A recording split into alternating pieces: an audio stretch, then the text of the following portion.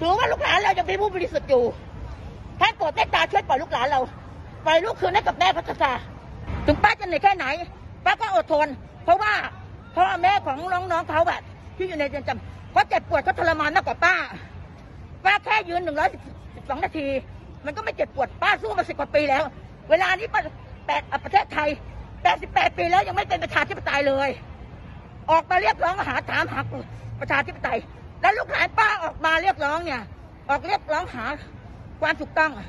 แล้วทำไมท่านตัดจับจับลูกหลานเราไป ท่านจับไปท่านก็ต้องปล่อยให้ ให้มีสิทธิในการประกันตัว เป็นขั้นพื้นฐาน ให้ออกมาให้ประกันออกมา คือให้ปล่อยลูกหลานเราออกมา ให้เขามาต่อสู้ข้างนอกดีกว่า อย่าปล่อยให้เขาต้องไปเป็นอย่างนั้นน่ะ ยกเลิกหนึ่งหนึ่งสอง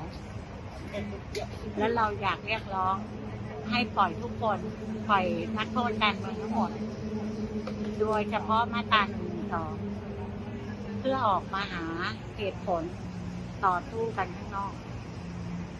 เพราะอย่างนี้ยเขาไม่มีสิทธิ์ที่จะออกมาพูดอะไรทั้งสิ้น คุณคุณคุณอ้างของคุณคนเดียว โดยที่ว่าเด็กเด็กไม่ได้ออกมาหาข้อมูลอะไรเลย แล้วเอาเด็กไปติดคุกอย่างเงี้ย เวลาเรียนเขาก็เสียเขาพูดเรื่องจริงไม่ได้ คุณรับไม่ได้เราเป็นแค่ประชาชนธรรมดา เป็นแค่เพื่อนร่วมประเทศ ที่เราไม่สามารถจะดูข่าวติดตามความเคลื่อนไหว แล้วเราก็เห็นความไม่ยุติธรรมต่างๆ แล้วเราก็นั่งเฉยๆอยู่ที่บ้านเราทำไม่ได้ เราไม่สามารถจะกินข้าวได้ ถ้าบางคนก็ยังไม่ได้กิน หรือว่าถ้าเรามีปัญหาเดือดร้อนอะไรขึ้นมาเนี่ย เราจะพึ่งพาใครในเมื่อระบบทั้งหลายแหละเนี่ย มันเลือกปฏิบัติ ขึ้นอยู่กับว่าความพอใจกับความไม่พอใจ หรืออะไรมาตรฐานมันไม่มีคือผมว่ามันผมก็รู้สึกแย่นะครับที่ที่หลาย ๆ ครั้งก่อนอันนี้เราไม่ได้ออกมาแล้วก็จริงๆก็รู้สึกแย่ว่า มันต้องรอให้ให้ให้ ให้ถึงจุดวิกฤตในแง่ของความเป็นความตายหรือเปล่า เราถึงจะออกมา เราก็รู้สึกผิดเหมือนกันแต่ว่า ผมก็รู้สึกว่าโอเคแหละมันก็ก็ดีกว่าเราทำอะไรไม่ได้เงี้ยครับก็ออกมาให้กำลังใจออกมาให้คำนับหัวก็ได้ว่าจากเมื่อก่อนมันมีห้าคนสิบคน